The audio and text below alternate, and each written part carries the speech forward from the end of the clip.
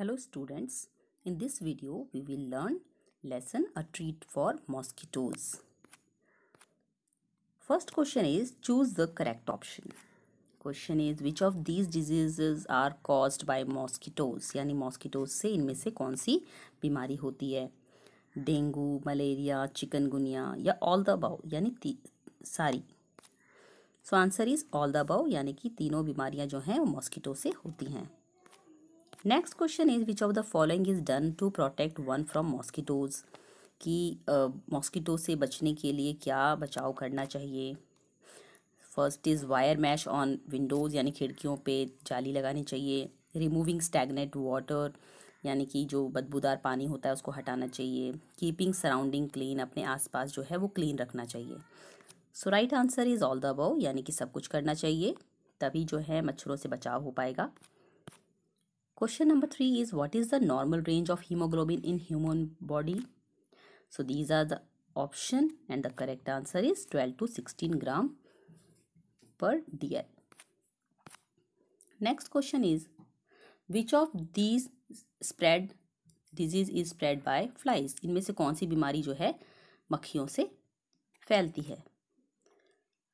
Option is malaria cholera dengue chikungunya अब जैसा कि हमने अभी पढ़ा है कि मलेरिया, डेंगू और चिकनगुनिया ये सब तो मॉस्किटो से होती हैं तो कौन सी बची? Cholera. Next is condition of less haemoglobin या iron in the blood is called यानी कि अगर आपके कम हीमोग्लोबिन हो या आयरन जो है ब्लड में कम हो जाए तो वो कंडीशन क्या कहलाती है? The answer is anemia. Question number 2 is, answer these questions. In which season is malaria more common why do you think this happen यानी कौन से सीज़न में मलेरिया ज़्यादा दिखाई देता है और ऐसा क्यों होता है? Malaria is more common at the end of rainy season और soon after it because of stagnant water at various places malaria जो है रेनी सीज़न के एंड में जाकर दिखाई आपको ज़्यादा देगा क्योंकि इस समय जो गंदे पानी हैं जगह जगह वो इकट्ठे मिले या दिखाई देते हैं। Next question is how is medicine for malaria made malaria की जो बीमारी है, उसके लिए जो दवाई है, वो कैसे बनती है? तो malaria, medicine for malaria is made from the powdered bark of cinchona tree. यानी कि जो इसकी जो दवाई है, वो सिंकोना ट्री जो होता है, जिसे हम कुनैन का पेड़ कहते हैं, इसकी जो छाल होती है, पेड़ की जो ट्रंक होती है ना, बार्क बार्क की जो ये जो पोर्शन होता है, इसका जो पाउडर होता है, उससे इसकी दवाई बनती है। इसे हम दालचीनी भी कहते हैं, जो हमने देखा होगा।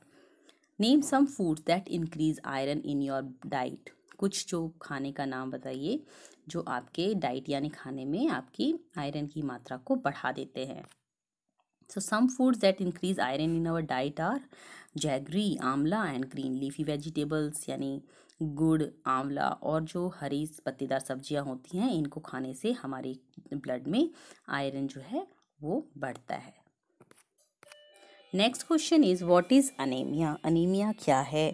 So anaemia is the condition of less haemoglobin और iron in the blood anaemia जो है एक ऐसी कंडीशन है जिसमें कि आपके शरीर में से हेमोग्लोबिन जो है वो कम हो जाता है और ब्लड में आयरन की मात्रा भी कम हो जाती है।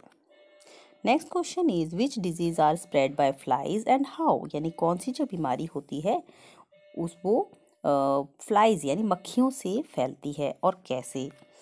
So diseases like typhoid, cholera, dysentery, anthrax, tuberculosis and salmonella are spread by flies तो ये बीमारियों के नाम हैं जैसे कि बता दिए और ये फ्लाइज से फैलते हैं।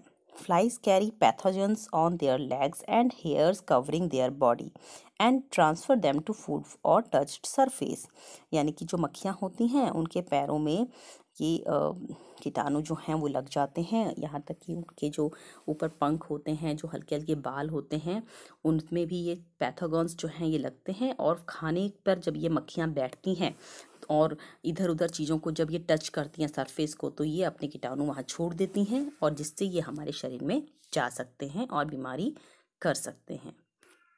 तो थैंक यू स्टूडेंट्स।